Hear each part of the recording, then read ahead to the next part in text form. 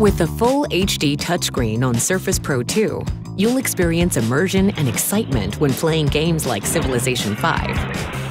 Gameplay with the Surface Touch interface is something all gamers need to experience. You can play many of your favorite PC games like Age of Empires 2 in full HD.